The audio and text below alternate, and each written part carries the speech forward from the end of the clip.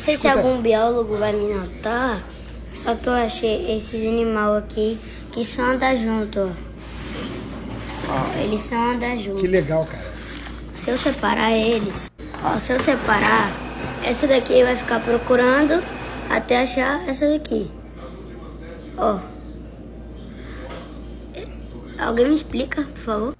Então, a, a bióloga que trabalha com insetos, elfa dos insetos, já havia respondido a sua pergunta. Mas eu vou trazer aqui para a galera toda conhecer. Veja, o que você está vendo aqui ó, são alguns cupins. O rei, a rainha, o cupim alado, aqui o soldado e o operário. Tá vendo esse cupim alado aqui? Pois é, esses dois aí eram cupins alados, que saíram assim depois da chuva, geralmente na primavera, entende? Com o tempo quente. E aí, eles vão formar um par, ou seja, a da frente vai ser a rainha e o de trás, o rei, sendo que a rainha vai soltando feromônio para que eles formem um par e montem um ninho. E daí começa tudo de novo, começa o ciclo, vai fazer um ninho de cupim. E é por isso que ele não separa da fêmea. Ele está o tempo inteiro atrás dela, porque agora, bom, agora eles são um casal, são a realeza. Um abração aqui para minha amiga Elfa dos Insetos, que já havia desventado o caso.